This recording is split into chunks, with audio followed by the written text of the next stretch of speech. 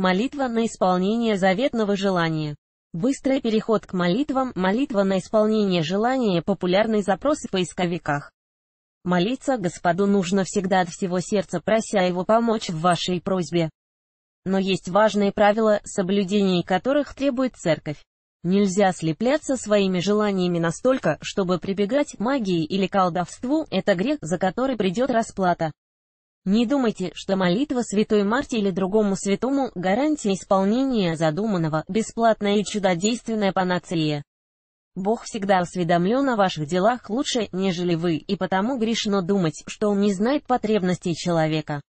Более того, человек сам порой не ведает, как опасны и губительны могут быть его желания, поэтому прибегать к помощи Бога нужно уважительно и осторожно. Правила молитвы. Традиция почитания святых в христианской церкви очень древняя, она существует с самого момента появления церкви, с первых лет ее существования. Однако не стоит принимать святых за языческих башков, имеющих свою специальность. Вопросы кому к какому святому молиться о исполнении желаний.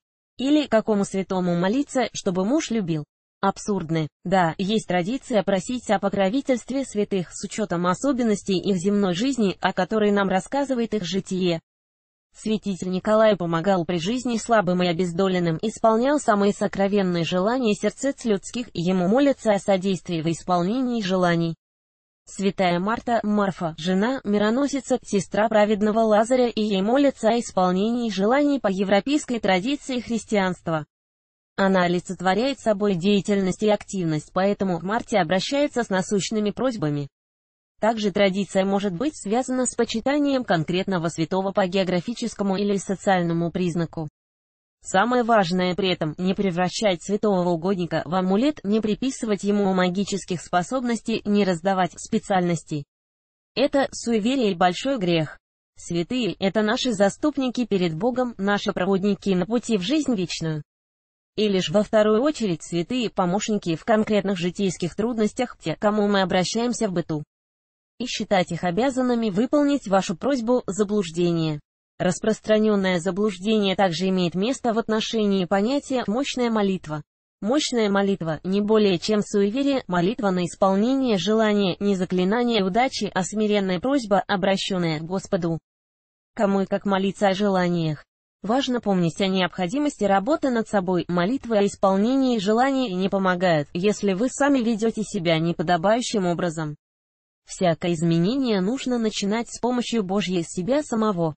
Полезно молиться за рулем, не отвлекаясь от дороги, в этом вам помогут аудиомолитвы.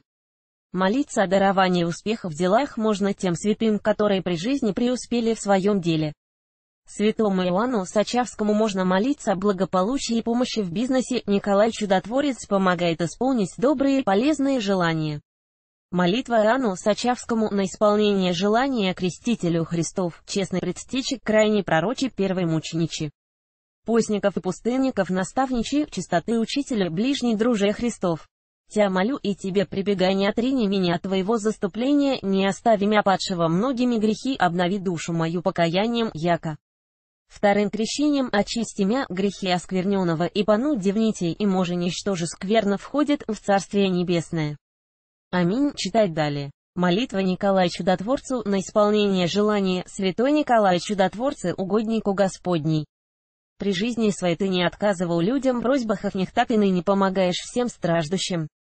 Благослови меня, раба Господнего имя, на исполнение скорое желание сокровенного моего.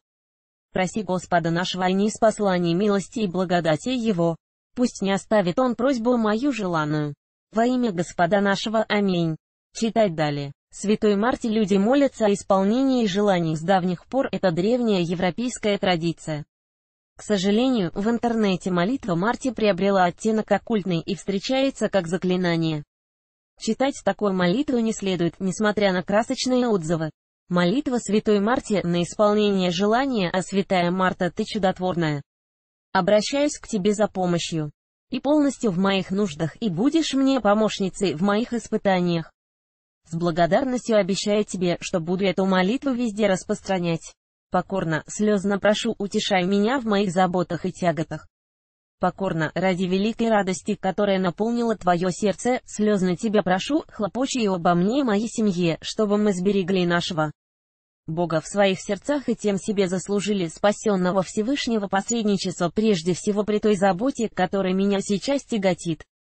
Далее желание НР «Помоги мне найти высооплачиваемую работу, помоги мне встретить любимого и создать счастливую семью» и так далее закрывающая круглая скобка. Слезно тебя прошу, помощницу, в каждой нужде победит и тяготы так, как ты побеждала змея, пока не лежал возле твоих ног.